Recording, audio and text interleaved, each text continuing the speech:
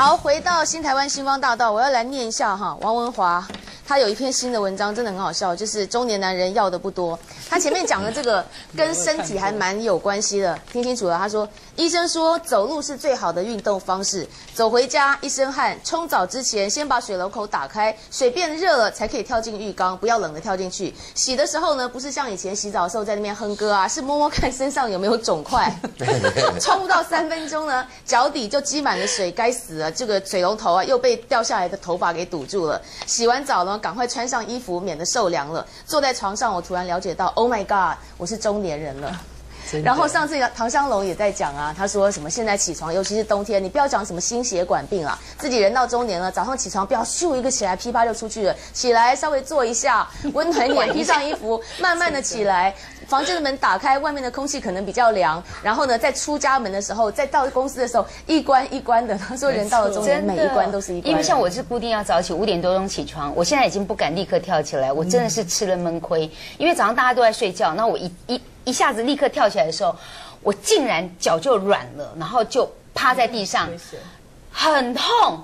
不敢叫，因为 老公还在睡。我想说，我应该可以自己撑起来。我撑了好一会发现不行，还是得喊人，然后才把老公叫醒来，那再把自己扶起来。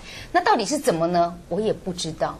腿就两腿一软就跪下去。后来医生就告诉我说：“你千万不要立刻就站起来，你一定要先在床上伸展一下。”可是冬天呢，你稍一伸展。又睡着了，所以 还是赶快起来。我可以帮你提醒，因为到了中年，我们的人就像一部机器，你的血管的弹性 没这么好，太好了。所以你如果前动作的时候叫做姿势性低血压，对，这个所以还需要你热身动一动，然后起来，这样才会让。而且到我们这个年纪，其实你会经常跑医院。我刚早上才从三种跑回来，我一个很要好的朋友今天进病房，他进进开刀房。乳癌一起，算是很早就发现了。可是就晴天霹雳，他一辈子都是奉献在家庭，然后为了孩子，为了家庭，然后为了这个，到了这个阶段四十几岁，他觉得，哎，我手头上也有一些钱，我好像也可以过自己的生活，有兴趣啊，然后可以小孩也比较大了，自己比较自在了，好了，得病了。对，那这接下来日子。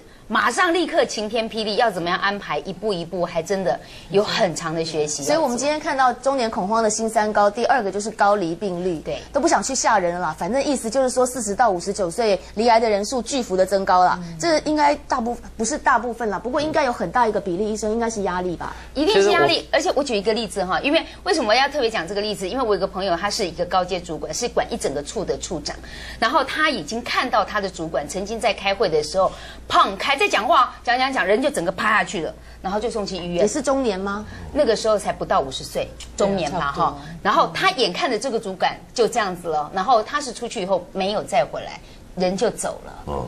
后来有一天，他就坐到他之前主管的位置，一样在开会，然后他砰倒下去了，也是被送出去。其他同事还说：“哦，今天得你耶，第二个。”隔天他赶快把工作辞掉。我说你命真大，上次那个没回来，你还可以保一条命。他赶快把工作就辞掉了。其实高离病率哈，我想分两个层面来讲，就好像你如果真的看医学数字，现在癌症的数字有没有减少？没有，是增加的。它有好的一面意思，但是也有不好的一面意思。好的一面意思，因为我们的科技越来越进步，我们检查出来了。对，第二个，我们大家也越来越有 sense，我们愿意愿意说定期的去做健康检查。那比如说，同样是乳癌。那可能在很早期的时候，你就检查出来，赶快做适当的治疗，它的存活率升高，这是它正面的。但是不会言就是说，我们现在显然有许多是现代人会罹患的一种疾病，比如说你看刚刚在提到癌症。有特别是乳癌，其实现在虽然说有的人说是他有什么家族史啦，哦，或者是说他的未婚啊，对，但是压力这件事情，其实在我们现在来看到，确实是很多疾病，包括乳癌，包括很多身心症会造成的一种疾病，甚至现在我们还在诊间或是在医院里面会碰到一种更妙的一种状态，那种状态就是说，像我这个板子上面提到的。身体不适找不到病因吗？小心自律神经失调，这什么意思呢？因为自律神经其实是我们身体一个非常非常重要的一个系统，从头皮分布到脚底，它本来是为了要让我们保持那种一种稳定的感觉。哦，它里面有一个叫做交感，那个交感就好像在我们吹油的，副交感大部分就在刹车的。但是当你有压力，焦虑、忧郁，或者是你失眠的时候，它就很容易不稳定。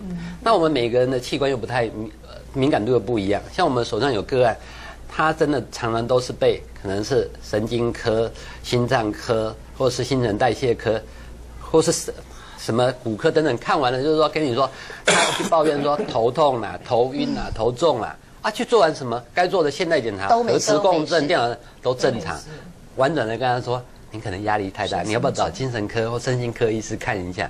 然后做了自律神经的测量，发现哇，自律神经真的是很不稳定。我就是这样子。因为那个自律神经包括我们的吸气、吐气，其实是不规律的。嗯嗯。因为我们会过度换气，我们个性会很急，你换气会很快。所以呢，我做过一个测验，发现我的吸气、吐气是嘣嘣嘣嘣嘣嘣嘣嘣嘣嘣。那你没有办法规律的时候，原来是有差异。你要正常规律的吸吐的时候，它是很规律的上下跑。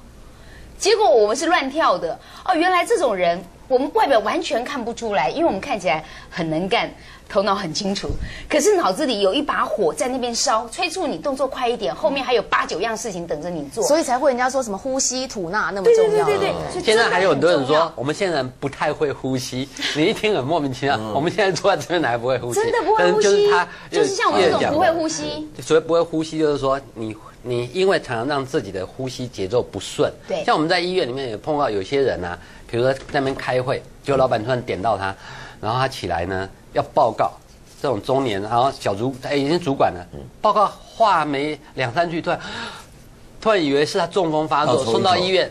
呼吸换气过度，度。换气过度那种就是就是因为你当时一听到哇，这可能这是这是现我们大老板要我来报业绩，我要想怎么报，我要从第一句报，还是从怎么总结报，还在想的时候就紧张，一紧张起来的时候，你呢后面自律神经一失调，就是开始整个人都喘起来，对。送到医院去，原来你就是在呼吸不顺的时候，把氧气拼命的送进去，把二氧化碳拼命的吐出去，造成失衡，就人就就这样手脚麻，然后就是。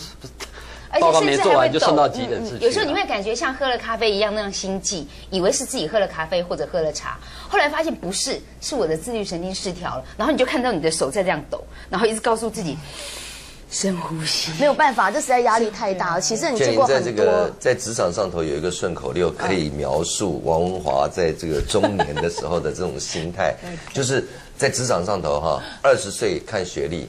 啊，然后三十岁呢看经历四十岁呢看资历，五十岁呢看病历历，六十岁呢看黄历，就什么时候葬在土里面？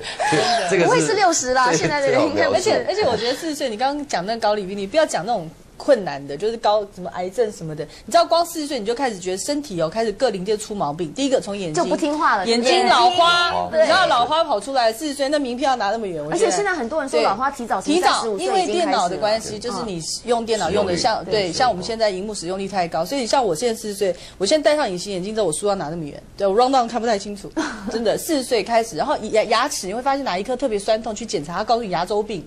啊，因为这也是老大概中老年的时候开始会发生的。然后刚刚讲的那些什么最明显的，就躺在床上睡不着，哎，然后呢不该睡的时候躺在沙发上就睡着了，看电视要睡着，这都是醒来精神还不好 这都是中年人开始出现的那种 各种一直想睡对但是睡不久对，然后所有的那种小小的毛病，你会发现这个身体到在四十岁以前是自己的，四十岁以后它不是自己的。人家不是讲吗？对四十岁之前你怎么整理的身体，四十岁之后他就加倍的回来整理对，然后你开始这个体重开始慢慢上升。刚刚讲男生搞不同嘛，女生更年期。就算你体重没有上升，肉会跑嘛。对对对，开始再怎么减，你又发现哎体重难以下降了。对真的是所有。其实今天刚王文华在讲运动这件事情，我正好我也要呼应他了。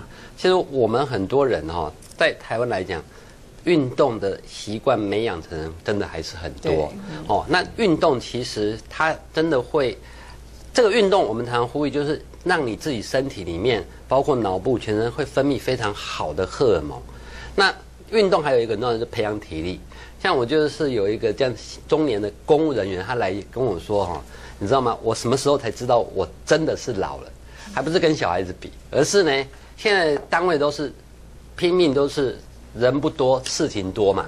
然后现在今最近可能明下个月要评鉴，我们现在可能还要加班。这个一加班呢，加班到九点的时候，开始他就头昏，头昏打了哈欠想睡觉。他看到年轻人，人家还拼命在做，我心里想，我也不能输给人家，但是就集中不起有精神啊。结果回到家呢，想说我要赶快睡觉，明天还要起来。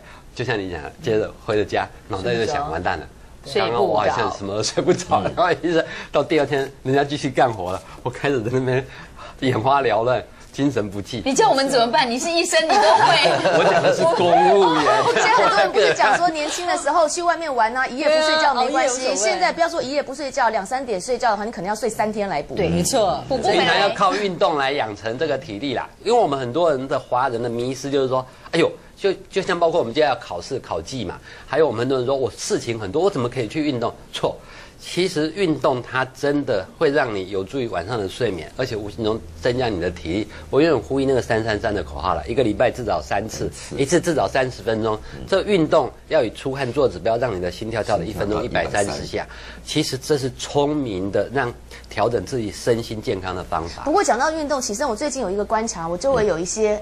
也算是进入，反正就是进入中年的男生啦。有的是，比如说小孩子念国中啊什么那一类的，他们现在很重视要骑骑脚踏车啊，要去跑步机啊，什么很重视自己的外表哎、我都开始觉得说，哎，你们是不是是不是在想什么啊？不，这呃，我觉得倩玲的这个观察啊，就是说开始注重外表是不是有什么问题啊？这个观察是非常有必要的啊，而且呢，也也往往呢是非常正确的啊。我觉得最最主要是因为现在在职场上头，像连呃杨医师这样呃的工作的朋友啊，大家都认为说还是高薪啊，甚至于工作很稳定，都还会有猝死。所以大家啊，其实对于工作的这个投入啊，非常的高。其实它有一个很重要的原因呢，其实就是危机感了、对你如果没有危机感，你干嘛干嘛要那么卖命的工作啊？就是朝不保夕啊，嗯。哎的这种的因素才造成的很多在三十岁很多的猝死啊，就是过劳啊，都是在三十岁以前就发生的，还不要还能够撑到四十不错。所以还是呼吁一下那个刚刚杨医师特别提的这个运动啊，运动有的时候啊真的是不限时间的，你哪怕站立起来啊，把脚尖踮起来啊甩甩，手它都他都会有一点是一点在。哎对对对，我们还有一个 变形口号叫一一一啊，他们不是帮那个那个人力银行帮 帮谢谢你。一一就是专少一个一是四个一，OK OK OK。因为哦，比如说我们有一些人来，我讲到要运动，他已经跟我说，我一刚打熊熊班打刚呢，我怎么有时间运动？我说错，我准备下一个口号给你，一一一，你每一天尽量抽十分钟，嗯，你这个运动。它不用很大的场地，像你刚刚讲，最近也有人医师教有有一个我们很健呃养生的医师，他说你甚至用椅子，你学习左脚上去，右脚上去，然后蹲一下，再下来，做十分钟，你认真的做，你也还是能够让你会会发汗哦每一天十分钟，让心跳跳到一百一十下，那也是 OK 的。我们很多人不运动是找理由，没养成习惯，我。们在这边讲这个轻松的话题。不过呢，呃，先插播一个最新的消息，就是前农委会主委陈武雄以及前防检局长许天来涉嫌隐匿这个禽流感的案情啊，这个疫情今天下午遭到了北检的约谈。那么检方已经正式把两个人列为是被告了。下午两点，先由陈武雄呢，他向检方来说明，而且把陈武雄跟许天良两个人分开啊，来分开侦讯，才能够比较出来两个人的证词呢有没有什么样的出入。待会更新的进展随时插播。我们的话题回来继续。